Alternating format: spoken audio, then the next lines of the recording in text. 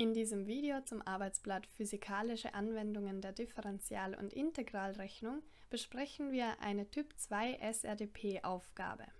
Sie trägt den Titel Bewegung eines Fahrzeugs mit der Aufgabennummer 2020. Das ist die Angabe. Nimm dir einen Moment Zeit, das Video zu pausieren, selbst die Angabe zu lesen und Schlüsselwörter zu unterstreichen, damit du die Angabe strukturieren kannst. In den ersten 5 Sekunden kann die Geschwindigkeit mit dieser Funktion beschrieben werden. In den folgenden 3 Sekunden sinkt die Geschwindigkeit. Ab der achten Sekunde bewegt sich das Fahrzeug mit konstanter Geschwindigkeit von 15 Meter pro Sekunde. Nach 10 Sekunden erkennt der Lenker ein Hindernis, braucht aber noch eine Sekunde, um zu reagieren und beginnt dann gleichmäßig zu bremsen. Okay, dann beginnen wir mit der ersten Aufgabe. Aufgabe A. Interpretieren Sie den Ausdruck Integral von 0 bis 5 v von t dt im Hinblick auf die Bewegung des Fahrzeugs. Wir haben also das Zeitintervall 0 bis 5, das entspricht dem gelben Abschnitt der Bewegung. Beim Interpretieren achte darauf, dass du über die Bedeutung sprichst. Wenn es geht, gib immer ein Zeitintervall oder einen Zeitpunkt an und die Einheiten. Pausiere jetzt das Video und schreibe selbst einen Satz auf, wie man diesen Ausdruck interpretieren könnte. Das Integral der Geschwindigkeitsfunktion gibt den zurückgelegten Weg an, das ist die Bedeutung, im Zeitintervall 0 bis 5, also in den ersten 5 Sekunden.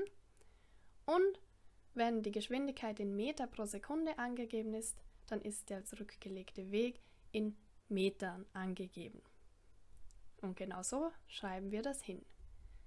Der Ausdruck Integral von 0 bis 5 v von t dt gibt den Weg in Metern an, den das Fahrzeug in den ersten 5 Sekunden zurücklegt.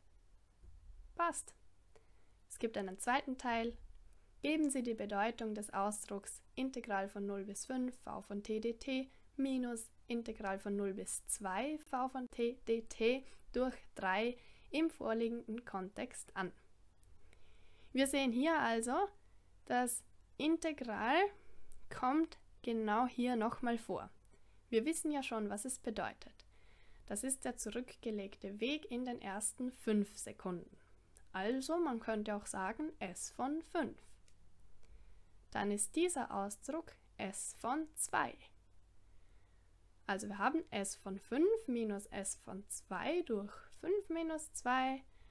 Beachte wieder diese drei Kriterien, pausiere das Video und schreibe einen Satz auf.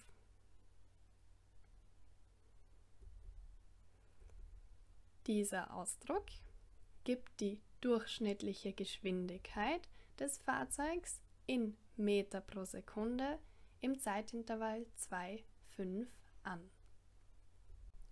Machen wir weiter mit Aufgabe B.